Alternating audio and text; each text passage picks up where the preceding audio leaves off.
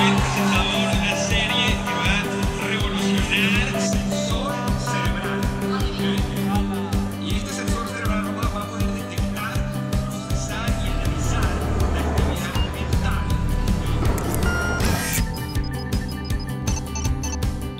Es